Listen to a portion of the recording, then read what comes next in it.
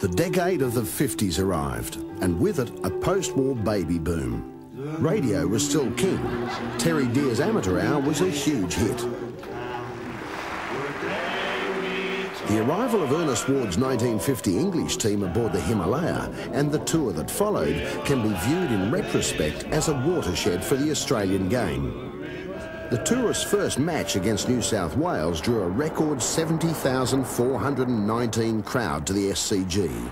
It was to be Blue skipper Johnny Hawke's last game of the season. He had been tipped to captain Australia, but a badly injured knee put paid to that. That very night it was announced that Clive Churchill would captain the Australian team. Plagued by bad weather, the first test was played on the SCG pitch that resembled a paddy field. British winger Jack Hilton scored two tries. The tourists scraped home 6-4. To Brisbane and the second test on a dry track saw a strong but battered Australian side pull off a 15-3 win to level the series. And so to Sydney and continuous rain. Notwithstanding, fans began arriving as early as 7am for the decider. So bad was the pitch that it required the spreading of 40 tonnes of sand. The crowd of 45,000 was to witness a contest as stirring and as close as any in football history. Not surprisingly, in the quagmire conditions, the first half was tryless. Goals to Churchill and Ward saw the scores locked at 2 all. The struggle was grim and unrelenting. The water bucket in increasing use. 15 minutes from the end came the decisive blow as the ball sweeps out to winger Ron Roberts. The Aussies hold on to win 5-2 and with it the Ashes for the first time in 30 years. The crowd goes wild.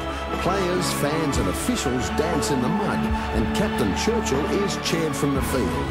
Australia's halfback Keith Holman recalls the emotions that overflowed.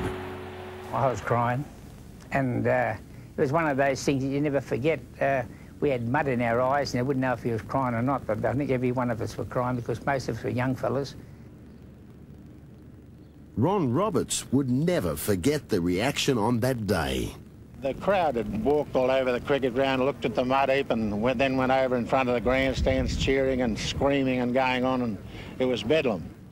Great credit was also given to coach Vic Hey. A test man that day, Bernie Purcell was part of the South's juggernaut that won the grand final 21-15 over Wests. Some things never changed. The thump of the drum as Jimmy Sharman's boxing troupe came to town each Easter. The Interstate Series of 51 produced the first Queensland Series win since 1940, but it was the arrival of the fabulous Frenchman that truly stole the show. Their focal point was the diminutive, chain-smoking captain, Puig Aubert, with his uncanny goal-kicking ability. Here in the first test in Sydney, he landed seven goals from all over the place. It was the Frenchman's dazzling switches of play and quick passing that enthralled the crowd. They won the test 26 to 15. Australia turned it around to win the second in Brisbane and then the decider in Sydney, attracting 67,000 fans. Inspired by the powerful second rower, Élie Brousse, the tourists bewildered Australia. Stand-in halfback Jean Crespo scored three of their seven tries. The result, a stunning 35 to 14 triumph, and the Frenchman rejoiced. Australian front rower Duncan Hall remembers Puig Aubert's special philosophy. Well, he was a great player, except but not defence. He claimed that all them blokes in front of him, he said, no, they're there to tackle. He said, me just kick goals and do this and run with the ball or something like that. And uh, that was his theory. Manly's victory over St George in the final of 51 won for them a grand final berth. A Manly try scorer that day was the young halfback Ken Arthurson. But Souths trounced the Northsiders 42 to 14 in the decider. Johnny Graves ran in four tries. I'm a buddy. I'm a Ouija, so what? If you would let me spend my whole life loving you. In Australia, there were new crazes and new words and new dances to learn. Travers Hardwick's New Zealand team arrived to enliven the 1952 season. More than 56,000 people saw Australia win the first test here in Sydney. But then a Kiwi turnaround. They won the next two tests to take the series. Critics were unenthusiastic about the chances of the 52 Kangaroos as they left for England. But they did better than many anticipated, losing the three tests but winning the bulk of the remaining games of a grueling 40-match tour. In France, the Roos lost the test series in three tough encounters. Yet the return clashes between Churchill and Aubert provided great highlights. Churchill, in the mid-80s, reflected fondly on that tour. Of course, um, being captain, I was only 23, you know, and taking a team to England was one of the best thrills I've ever had. 1952 produced one of the most infamous of all grand finals between Wests and Souths. From South's point of view, referee George Bishop was a figure of great concern that day. Remarkably, Bishop ruled this fair try-making pass from Threlfo to South's second rower McGreedy forward and disallowed the try. There had been talk of betting on the match and of dark deeds. Bishop made several more highly contentious decisions which went against Souths. West won 22 to 12, but South's captain Jack Rayner has his own blunt view of events of that day. We weren't allowed to win. That's what I'd say. The way we were treated today, I said you got life in racing for that treatment that was handed out to us today. The penalties and the, the offside or forward pass that didn't take place. I never ever spoke to the referee again. The match was referee Bishop's last. For West coach, the ex-referee Tom McMahon, it was a significant achievement in his only season as a coach.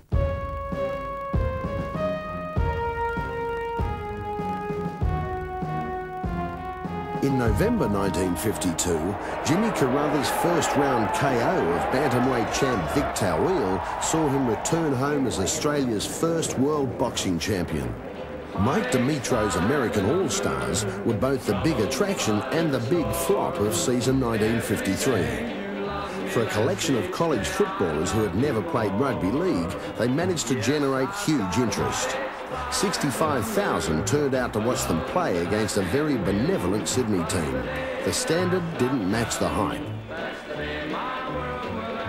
Souths were back on top that year, thrashing St George 31-12 in the grand final, with Ian Moir scoring three tries.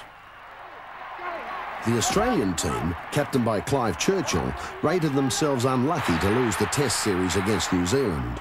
They won seven matches of the nine games on the Kiwi campaign, but lost the first two tests before taking the third in Auckland 1816. The high spirits in New Zealand that year were dashed on Christmas Day when a packed holiday train plunged into the upper Whangaehu River at night, leaving 166 people dead. In Australia, Queen Elizabeth was greeted by a vast throng when she arrived aboard the royal yacht. The arrival of the Dickie Williams-led British Lions provided the highlight of the 54 winter. In the first test, the Australians were on fire, running in seven tries, romping home 37 to 12.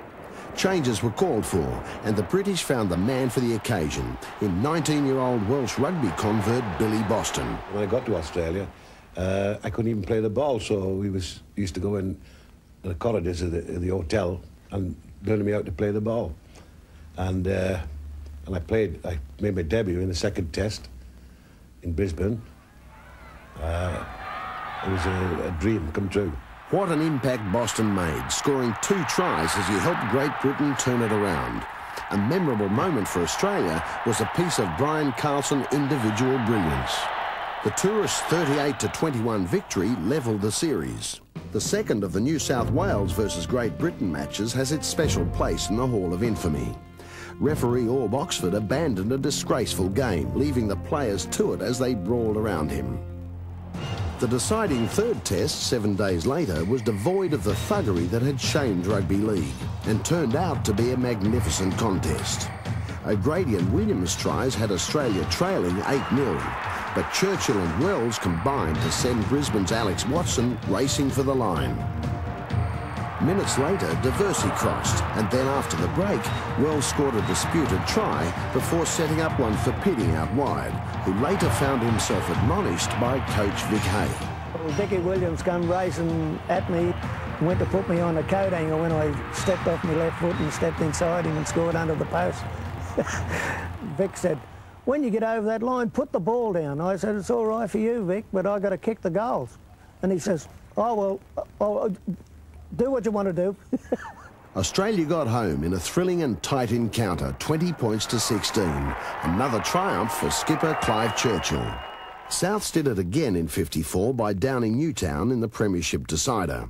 A vital cog in those days was Lock Chika Cowie. You just had to play at your top and your peak and produce things and do things that you never dreamt of doing and to sort of be part and parcel of the side. You thought you're letting them down if you didn't do your share, you know. Churchill was chosen as captain for Rugby League's first World Cup in 1954. For the Aussies, it was an unsuccessful campaign. The final, played at Lyon, was won by the Dave Valentine-led Great Britain over France. Not far away, 80 people died when three cars ploughed into the grandstand on the Le Mans circuit. In the States, this bridge was not a good place to be. And back home, floodwaters surged through the streets of the township of Maitland, killing a dozen people and leaving thousands homeless. It was 1955 and the days of the six o'clock swill were at an end. The touring 1955 Frenchmen were painfully slow to get rolling, despite flashes of flamboyance. After losing the first test, they managed to square the series up in the second. A sellout crowd of over 62,000 was treated to a thriller in the decider played in Sydney. A Brian Davies try and then one in reply by Raymond Contrastin saw Australia lead 5-3 at the break. Playing it hard and tough on the heavy pitch, the Frenchman hit the front when Andre Ducasse scored. Duplay's penalty goal made it 8-5, and in the tense final minutes, France managed to hold on. Season 55 saw the most sustained exhibition of will to win ever seen. South's Bernie Purcell was part of it. Second last to last after the first game of the second round. And to win the competition, we had to win every game from there. Every game was a grand final, not the last one, but every one. South's epic clash with Manly is remembered for Clive Churchill's heroism, soldiering on under excruciating pain with a broken wrist, and then at the end, the task of converting Chika Cowie's try. That fabulous goal from wide out broke the deadlock. The miracle of 55 climaxed on grand final day, when the Rabbitohs triumphed by a point over a gutsy Newtown. Soon after, crybaby crooner Johnnie Ray arrived to a huge reception at Sydney Airport. And so did Frank Sinatra, accompanied by his daughter Nancy. In 1956, the Kiwis proved a handful in the three-test series. Led by Ken Kearney, Australia scraped home in the first two tough encounters, but was more convincing in the third. At Wimbledon, it was an all-Aussie final between the Golden Boys Lew Hoad and Ken Rosewall, with Hoad winning in four sets. A spectacular 36-33 loss to Balmain in the 56 final ended South's reign. The grand final, Saints and Balmain, was the doorstep to history for the Dragons, who were gradually gathering players of magnificent calibre. St George got home by 18 to 12, Provan, Wilson and Bugden were three of the many Saint stars that day. It was a triumph for Captain Ken Kearney. Melbourne hosted an unforgettable Olympic Games, and suddenly the country had an army of new heroes and heroines, such as the Golden Girl Betty Cuthbert and the Queen of the Pool Dawn Fraser. Ken Kearney was chosen to lead the 56 Kangaroos. Big Billy Boston was unstoppable and the Roos were well beaten here in the first test at Wigan. Their moment of glory came when they won the second at Bradford, but in the decider at Swinton they were soundly beaten. This is television. Good evening and welcome to television. 1957 and Australia hosted the second World Cup. The men in green and gold, captained by Newtown's Dick Poole, didn't lose a match. One of nine Gordon Clifford goals and Ray Ritchie's spectacular try represent a glimpse of the four successive thrashings handed out by New South Wales to the Maroons as the gap widened between the two states. Harry Bath, back from Warrington, was the masterstroke signing by St George that year. His eight goals and a superb performance by Brian Clay in the grand final paved the way for a 31-9 hammering of Manly, coached by Ken Arthurson. In 1958, Brian Henderson's bandstand was launched. See you later, Australia. Bye now. Football season 58 brought Alan Prescott and his Great Britain team to Australia. Their encounter with New South Wales was not far short of referee Aub Oxford's infamous walk-off match in 54. In the touring side was the legendary second rower Vince Karalius, number 21, known as the Wild Bull of the Pampas. Of stick, and, and prior to the game, it caused a, a tremendous amount of feeling because test matches, like I said, test matches are war, and uh, and the atmosphere is electric, and the first tackle, God bless it, everything went into it. But it was great, I loved it. You know, I mean, I love the old gladiator approach when we just going in and there's a, you know, there's a body or two lying about and makes the job a bit more interesting. As New South Wales and the British battled it out, Karalius was sent off for kicking Bruce Olive. Rex Mossop got his marching orders after a dust-up on the far wing. Greg Hawick followed, then Peter Diamond for kneeing an opponent. Mossop describes the slather and whack of those days. They were incredibly hard men, tough men, and everybody tackled high. Everybody tackled around the head. There was no no crime in, in that era. You know, whack him, get in and give him some. And that was the way. You used to be calling out to each other, give him some, give him some, you know. Suspensions to Karalius, Diamond and Hawick cost them places in the first test at the SCG. The brilliance of Wells set up this try to Brian Colson. Australia's forward pack of O'Shea, Mossop, Provan, Marsh and Kearney and Captain Davies were in command. Australia won 25-8. A shining light for the tourists was 5'8 Dave Bolton. The Great Britain camp was in a deadly serious mood in the build-up to the second test in Brisbane. Prescott recalls the ultimatum delivered by the colourful team manager Tom Mitchell. And he said, any man falling out of line, doing anything he shouldn't do, bed in bed late or drinking, he will be sent home immediately. And there's no player ever yet been sent home. With Karalius back, England was primed and ready. In the first five minutes, skipper Prescott went in hard to tackle Kel O'Shea and came out clutching a broken right arm. Twelve minutes later, Dave Bolton departed with a broken collarbone. But Britain refused to wilt. Prescott, his right arm dangling uselessly, their inspiration. Further injuries eroded the British cause, but lifted by the ferocity of McTigue and Karalius's play and the dazzling running of cocky young halfback Alex Murphy, Britain always had the upper hand and won 25-18. It was a day Murphy would never forget. Yeah, I was running on uh, on four-star petrol then. I think um, I just started to um, believe that I was going to be a good player. Um, I know a lot of people said, well, You've always known that, but um, I think on, on the tour I matured.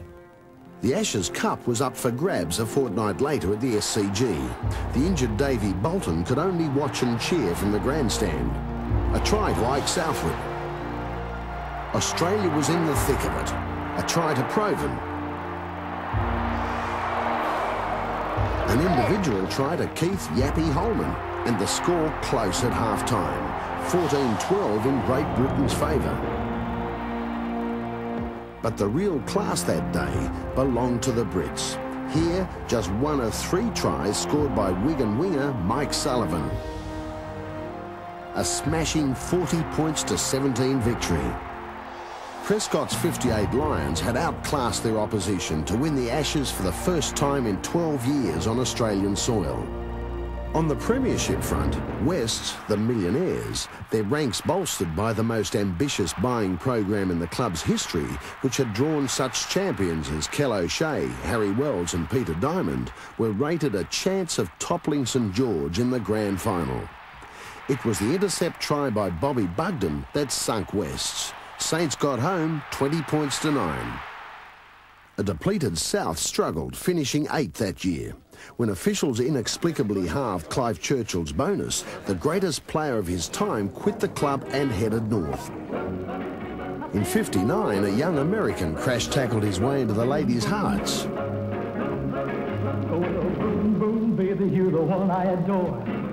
And Saints had a new backline sensation, Reg Gasnier.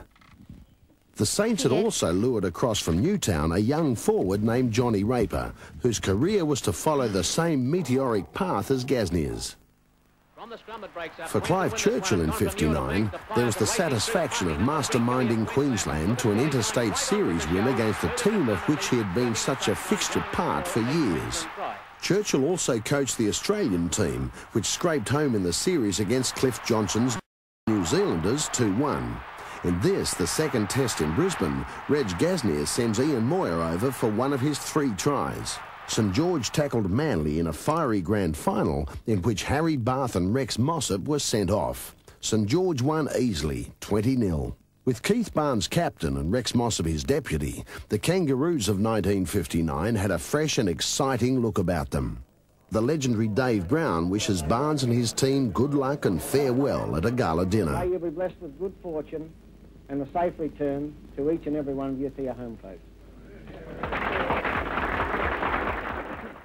We have a very young side, but one that I am sure that with the experience we'll receive overseas will improve and become a very good side.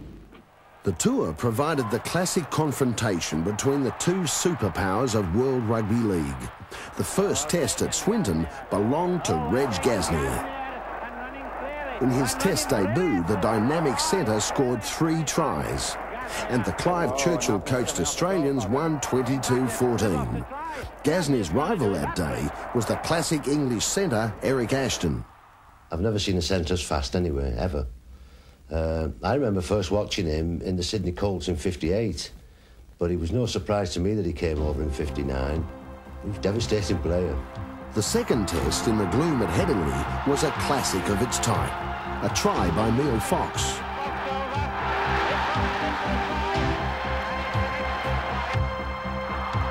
Harry Wells engineers a Brian Carlson try.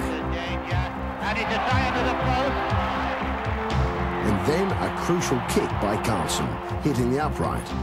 It was to have a major bearing on the outcome. Controversy. Wells to Gasnier. Carlson to Muir, who heads for the line. But the pass from Gasnier to Carlson is ruled forward by referee Ron Gelder. Harry Wells was infuriated. After the game, I, I was that uh, upset about it all. I happened to say to the referee, you robbed us. And he said, Harry, he said, I got to live here. And I said, oh, well, fair enough. With Australia ahead 10-6, Ashton kicks through and Gasnier gathers, but is caught behind the line and not short of it. The Kangaroos believe the ruling should have been a line dropout, but instead Gelder orders a five-yard scrum. It turns out to be critical. A sleight of hand try to British lock Johnny Whiteley. If you're an Englishman, you, you know, you always see that the Australians are always biased and, and, and vice versa. And it all, it all gels to making, you know, what rugby league test match is all about. It, it puts the spice on it. The Whiteley try was converted by Neil Fox, and Great Britain were home 11-10, levelling the series. The settling of the Ashes came down to a dour struggle on a grey day at Wigan Central Park.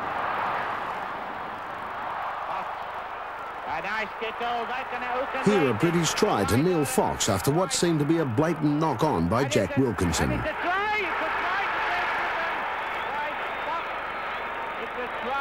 Now one of Test football's greatest moments as Gasnier set up a try for Brian Carlson. Lead for Australia. Well played. A great try by... It's trying to go around behind the post for a goal. Behind for most of the game, the Australians clawed back to 15-12, but a late handling mistake enabled Whiteley to hand winger Ike Southward this gift of a try to wrap up the test and the Ashes. Australia's Ian Walsh remains critical of the refereeing that day. They brought in Sergeant Major Clay to beat us in that third one. There's no doubt about it. He was a very hard referee and he let the Englishman get away with a lot that day. But then we've got to think the same thing can be said out here with Darcy Lawler, a good old mate of mine. Darcy hated the Poms and, and I, I think on a couple of occasions we, we did get square with them out here. The dynamic team of 1959 clean swept the Test series in France and set the foundations for what lay ahead. In 1959, a sad ending to the 50s, with the death of rugby league's master, Dally Messenger.